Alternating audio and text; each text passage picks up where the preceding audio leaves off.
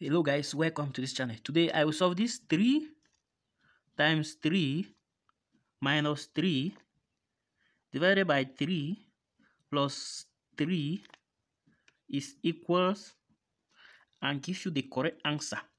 Yes i have solved this quiz in my previous video using BODMAS and many people were commenting that my answer is wrong that i should use PEMDAS so today i am going to solve it using PEMDAS if the answer is the same like the one in the other video, it means my other answer was correct.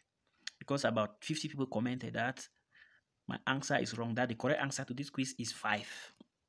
But from my previous video, the correct answer is 11. So let's solve it in details using PEMDAS. PEMDAS. So PEMDAS is an acronym which stands for parenthesis exponent, multiplication, division, addition, and subtraction.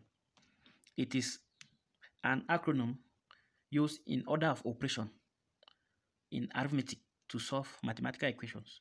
So let's say you have, let me just write it here. Let's say you have 2 plus 5 times 3.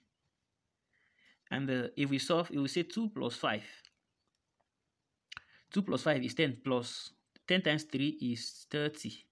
And someone solves 5 times 3. 5 times 3 is 15 plus 2 is 17. So if you solve from this side, you have a different answer. You solve from this side, you have a different answer. So that is why there is this PEMDAS or BODMAS, which is coming to guide us in solving mathematical equations so that we'll always have the same answer. So in this row, we need to do what is in the parentheses or in the bracket. We do the exponents, like 2 raised to the power something, that's the exponent. We multiply, we divide, we add, we subtract. So if we are going to apply this PEMDAS here, we see in this quiz there is no parenthesis. There is no exponent. There is multiplication, there is division, and there is addition, and there is subtraction.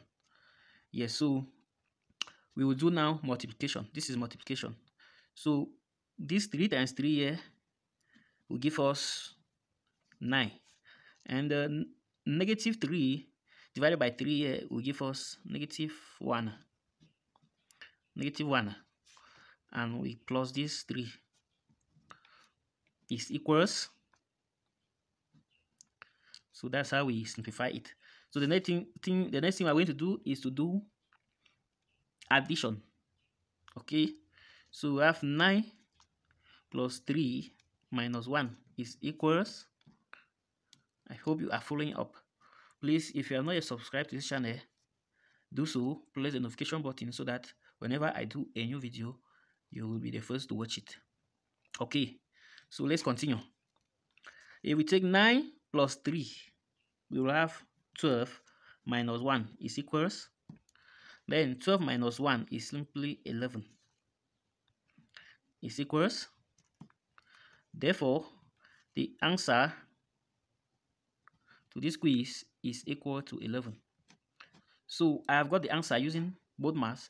I've equally gotten the answer using PEMDAS. Okay. So it means I was correct in the other video. The video is here. You can watch it and see how I solved it. Thank you for watching.